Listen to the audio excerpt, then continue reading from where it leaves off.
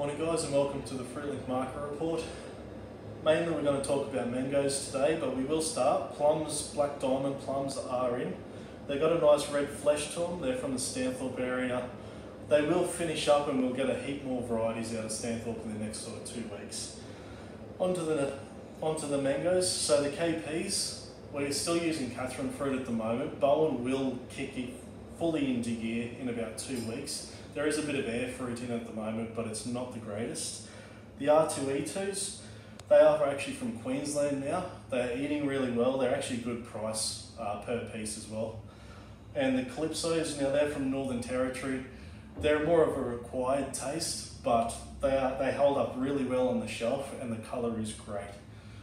My name is Braden. Thanks for listening.